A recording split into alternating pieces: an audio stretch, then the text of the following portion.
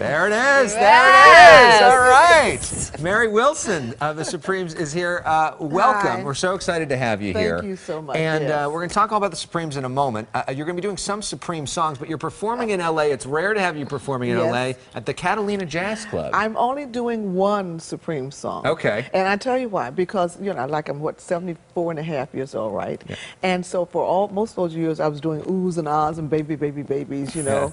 and uh, about five years ago, I decided, well, you know what, let me see what to, to do what I really feel I do what best, ballads. And mm-hmm. so I put together this show, produced the whole thing, and filmed it, taped it in San Francisco, and then it went so well, I'm, I've been doing it ever since. So I'm bringing it to Los Angeles. You're going to now. the Catalina Jazz Club Catalina on Jazz Sunset. on Sunset for Friday and Saturday, and I'll be doing my, my, my little ballads, you know, and I love it because as a Supreme, I only did one ballad in the show.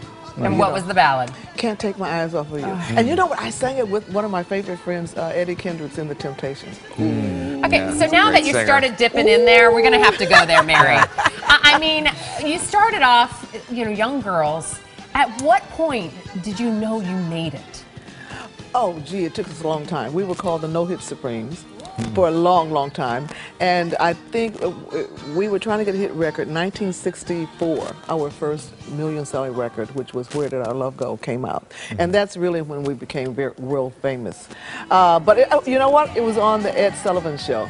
When we really, really, you know, felt we were doing because everyone watched the Ed Sullivan Show. Of course, the back then. Beatles and you I mean, guys. it was just and so is great. it true that when you went out on tour at first, you were with a lot of the other Motown acts? A lot of people didn't know who you were, and then it just popped. Oh, sure. I mean, we went out with the Motown Revue, it's, it was called. We had Marvin Gaye, Stevie Wonder, uh, The Miracles, The Four Tops, The Temptations, The Martha and the Vandellas. Wow. I mean, it was so like. what was the what was yeah. the what was there a party off stage? What was it like No, when you guys part- weren't the- performing? The, Come part- on. The party, no, the party for us was always uh, off stage. Yeah. I mean, you know, you know, the audience they saw this. All we were like every every move was together. You know what I mean? You did Right. everything together. But backstage, you know, we played cards, all those kind of crazy things. So things. you're looking at this footage, and I see all you together. Do you still talk? Do you talk to Diana Ross? Like, what's the relationship like? Because you guys went through so much together. Well, unfortunately, you know, Florence passed Yes. Right. in 1976 at the early age of 32, uh, which was really devastating for, for me uh, and, and lots of fans. But Diana and I speak sometimes, not a lot. You know, we, we, we're both like over, well, I won't tell her age, but I'm here, I'm 75. Yeah. You- you, you know I mean? good. You know, but I feel great. You know, that's the most important. But I do, we do occasionally, yes. And there was a moment I know at uh, Motown the musical where the two of you came together to see that show, which was such a great show. They came to LA. We got to see it here too. And there's a nice picture of you guys and Berry Gordy, of course, the founder of Motown. But you know, the other thing is um, Otis Williams of The Temptations has a, a Broadway show. I mean, it's going to Broadway, hopefully. Oh, all about oh, the the Yeah. Temptations! It, it opened up here, and people were raving I was, about I was there. It was great. So It's- that's wonderful. So now I'm waiting for maybe there will be a Supreme show. I think so. I think so. Yeah. Listening. They should be. Now, one burning question I have: You made so many great hits, and we're turning around. I feel like I'm going to turn I you around. know. And this I- poor thing I- is swiveling. I'm- I'm- Help I'm- Alex. I'm like, hey. You're doing a You know, dance. you know those hula hoop things? You yes, know, I'm yes. doing that here in this chair. You didn't tell me about that. Well, you had so many great I wanna. Oh. First of all, I want to talk about those shoes, honey. Those shoes are great. And see, had I known you had those shoes on, I wouldn't have worn my boots. But you know, in New York, it's cold. It's cold someplace, right? It's even cold here in L.A. But anyway, there you go. No, you're So- fashion royalty, so that's a compliment. But you know, you did something pretty significant. Uh, we're talking about money, and uh, did you make money over the years? And then you initiated the Music Moderni- Modernization Act with It's hard to say, know, isn't it? President Trump, but helping you know artists make money that didn't get the royalties they deserved.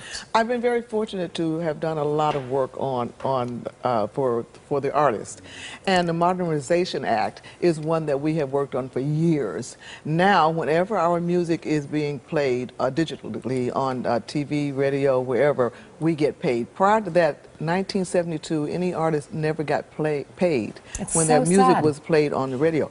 But artists after 1972, they, they, were, pla they were paid. So we did get that passed, and a lot of people worked on it, and thank God for all the people who, who did work we, on it. we know how hard it Yes. is to get anything done in Hollywood. uh, I mean, in Washington. Yeah, Uh, and so this is something that actually both parties came together on. The president Yes. signed it, and He now signed- it is you know, law you know what? He, what si- he signed it the same day that our friend Kanye, whatever was on. Oh, it was signed the same day, but you didn't hear about that. Yeah, well. But anyway, there are lots of people who are ve- very happy that why. you know that we are now being paid, and Well- so I'm very thrilled about that.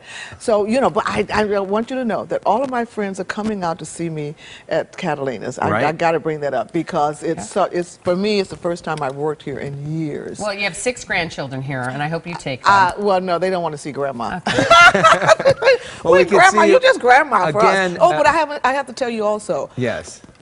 I'm writing my third book now, Wow. and and I'm so happy it should be out next year for the Supremes 60th anniversary. well, Supremes Fashion, that's the new book coming out. You have two books about your life with the Supremes, but the Supremes Fashion is the new one. Yes. And you can see you this weekend, January 4th and 5th at the Catalina. Jazz Club. Thank you. Right. Thank you for all Can the joy Can you just do something? Can we so stand up? I can't do this. Stand well, up. you said stand you, up. you said you could. You sick. Oh, no, I'm sick. I'm sick. I'm sick. Well, Can we that's do okay. this? Come on, Can we come do on. this? Oh, stop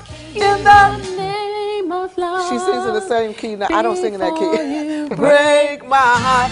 Think Think it it over. over. That was my part.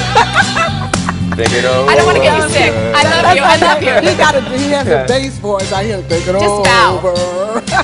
Bow. Yeah. Yes. Oh, you. you're such Thank a you, treat. guys. Yes. Oh, Oh, I'm not don't going to touch you now. Okay.